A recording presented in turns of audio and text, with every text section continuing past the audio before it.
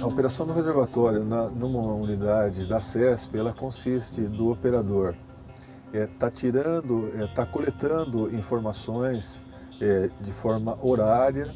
Na usina ele está operando os equipamentos eletromecânicos, verificando o nível do reservatório, né, o nível de montante, quanto de jusante. Então a coleta desses dois níveis, você faz a, a diferença entre eles.